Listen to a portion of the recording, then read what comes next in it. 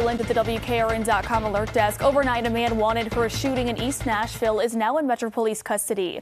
The arrest of 19-year-old Tiago Sanders comes after detectives were surveilling the suspect. According to the arrest warrant, officers spotted Sanders get into a car on Hickory Hills Boulevard. They attempted to pull him over. Sanders did not stop. During the pursuit, the suspect hopped out of the vehicle. He was eventually taken into custody.